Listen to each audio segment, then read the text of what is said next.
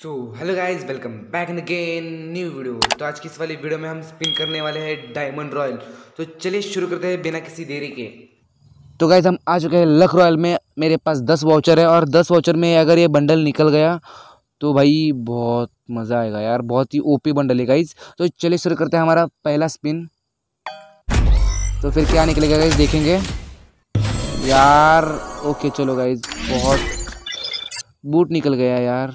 Seriously guys ठीक है? और एक स्पिन मारेंगे। इस वाले स्पिन में नहीं निकल गया यार। ये मेरे पास ऑलरेडी है गाइज़ यार, बहुत है मेरे पास। ये ऑलरेडी बंडल्स है। देखिए गाइज़ मैंने इसलिए सारे डाउनलोड नहीं किए। मेरे पास ऑलरेडी सारे बंडल हैं। देखिए गाइज़ ओंड ओंड ओंड सब की तरफ़ ओंड आएगा। तो चलिए और एक स्पिन मारेंगे। और एक स्पिन नहीं निकला यार, इस वाले में भी नहीं निकला। ओके गाइज़ मेरे 88 लक गाइज़ 88 लक यार। क्या ही बोलूँ मैं ओके कुछ निकला है कुछ निकला है। यार क्या निकला है यार? सीरियसली यार। अभी सिर्फ़ छः बचे छः बचे क्या आपको लगता है ये वाली स्पिन में निकलेगा?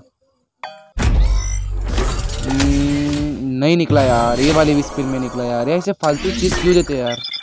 तो गाइज़ हमारे से पास सिर्फ़ पाँच बचे हैं। पाँच में निकल गया तो बहुत टूपी यार तो गाइज़ इस वाली स्पिन में नहीं निकला यार। जो ये नीचे वाला कलर है ना बंडल का नीचे वाला कलर वो आना चाहिए गाइज़ वो आना चाहिए। तो गाइज़ और एक स्पिन मारा है मैंने। ओके गाइज़ नहीं निकला यार। लास्ट थ्री स्पिन में निकल पाएगा या नहीं? ओके गाइज़ कुछ कुछ कुछ भी नहीं। तो गाइज़ लास्ट टू स्पिन में निकल पाएगा।